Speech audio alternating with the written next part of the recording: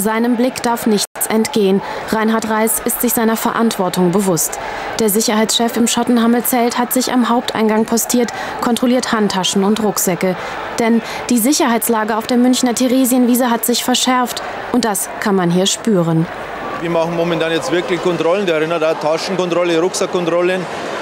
Was natürlich für uns optimal ist, momentan natürlich ist ja Polizei vor Ort, die haben einen äußeren Ring gebildet und kontrollieren vor Ort schon, also die Saute Vorhut. Und wir kontrollieren wirklich im Zelt nochmal alles, was reingeht. Nochmal. Seit gestern Morgen ist das größte Volksfest der Welt, Hochsicherheitszone. Die Polizei hat rund um das Oktoberfest einen Sperrgürtel errichtet. Die Beamten durchsuchen mit Spürhunden Autos nach Sprengstoff. Nach den jüngsten islamistischen Drohvideos steigt die Sorge der Behörden vor Anschlägen. Wir müssen ernst nehmen, was hier an Videobotschaften von den Islamisten ins Internet gestellt wurde.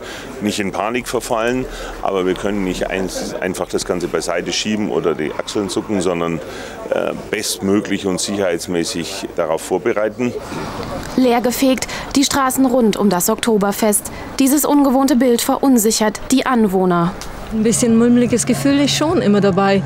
Aber ich finde das ganz gut hier, die Sicherheitsmaßnahmen. Ob es wirklich was bringt, weiß ich nicht. Hundertprozentig vermeiden kann man es nicht, weil man kann nicht jeden Passanten, der auf die Wiesen geht, kontrollieren. Das ist ein Ding der Unmöglichkeit. Und wenn jemand einen Anschlag machen will, dann passiert Panikmache soll es auf der Wiesen nicht geben. Der Münchner Oberbürgermeister appelliert, jetzt heißt es Ruhe bewahren. Heute früh hat mich sogar unsere jüngste Tochter angerufen, ob sie denn ihr Kind mit der Klasse auf die Wiesen gehen lassen soll, nach allem, was in der Zeitung schon zu lesen war. Und ich habe das bejaht. Festung Wiesen. Der Feierlaune scheinen solche Schlagzeilen wohl nicht zu schaden. Hundertschaften der Polizei sichern die Eingänge zum Oktoberfest und die Bierzelte sind voll. Die Münchner zeigen gute Nerven und feiern weiter. Wir sind Münchner. Warum sollen wir uns abhalten lassen? Irgendwie habe ich schon ein murmeliges Gefühl gehabt, aber, aber ich habe es noch ein bisschen weggesteckt. Jetzt nach zweimal das Bier geht es mir wieder besser. Und es gibt auch Gewinner in der Sperrzone. Wo Autos nicht mehr durchkommen, freuen sich jetzt Fahrradtaxis über gutes Geschäft. Äh, ich würde nicht gerne sagen, es ist toll, aber es ist entspannter. Wir kommen überall durch, keiner hupt uns an, keiner beschimpft uns. Es ist gemütlich.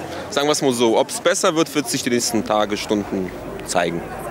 Für die Security in den Zelten geht derweil der ganz normale Wiesenwahnsinn weiter. Beruhigt euch wieder. Mit fortgeschrittener Stunde steigt der Alkoholpegel und an Terrorangst mag jetzt keiner mehr denken. Die Stimmung im Zelt erreicht ihren Höhepunkt. Für die einen ist das Spaß pur, für die anderen harte Arbeit.